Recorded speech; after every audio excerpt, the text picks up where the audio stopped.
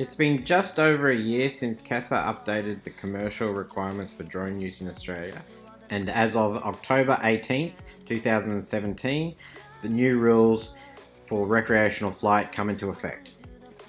Unfortunately, at the time of this video, the updated 101-3 advisory circular has not been released. The biggest changes are as follows. First up, they have now restricted the maximum altitude for a recreational flight to 120 meters or 400 feet. Previously in Golf class airspace, you could fly over 120 meters as a recreational pilot. Commercially, you still needed permission, but recreationally, you could actually fly higher than 400 feet in Class G airspace. Currently there does not appear to be a 45 metre height restriction near helipads, however that may change.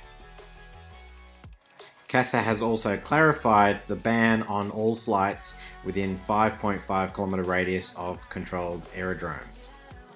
Controlled aerodromes such as Brisbane Airport and Archerfield Airport during the hours of 7am till 5pm local time. Airfields such as the Redcliffe and Caloundra airports are non-controlled aerodromes. But as always, you must steer clear of all manned aircraft. Good news, however, is that the, this ban does not apply to the micro class drones, such as the Inductrix. The Spark and Mavic, while still in the very small class drone, are still considered to be too big. Also finally clarified the 30 meter rule, which is measured laterally 30 meters from the ground point directly below the drone.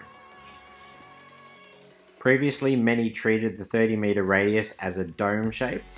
Currently, this new clarification only applies to people. Um, we'll see when the 101-3 advisory circular comes out if this impacts structures and vehicles. This currently replaces the populous rule, which was cause for some misunderstandings.